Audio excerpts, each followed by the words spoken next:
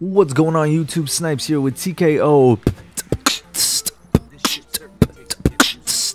Gaming. We are here with how to get exotic engrams. Not one, my friends, but there's a possibility that you may also get two. It's a quick guide. All you have to do is spawn in to Patrol Dreadnought and follow this video guide exactly. You're going to go into this Cabal ship and my friends are leading the way. Big shout out to T1 and JumpBot. You guys are awesome for showing me this.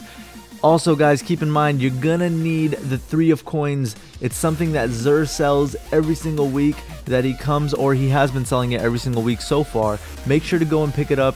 It costs, I think, seven strange coins. I, in this video, do not have any strange coins, so unfortunately, uh, you're not going to see me testing it out for myself. However, JumpBot, you're going to see on the bottom left of the screen, he's going to get an exotic.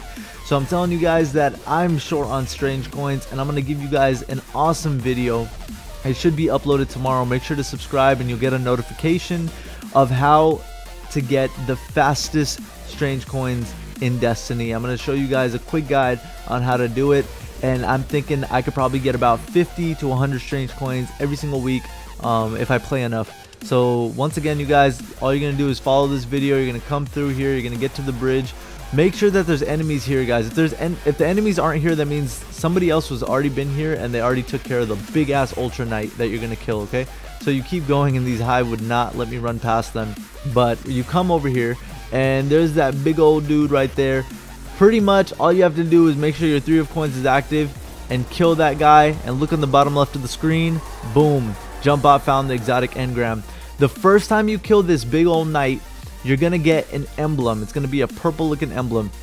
Now, we think that you can't get an exotic drop the first time you kill him because you get that emblem. Uh, we don't know if that's true or not, so go ahead and test it out. That's the emblem, the silent scream that you get from it. Pretty cool looking emblem. Make sure to give a big thumbs up, guys, and I'll see you in the next video. Thank you guys so much. Peace out.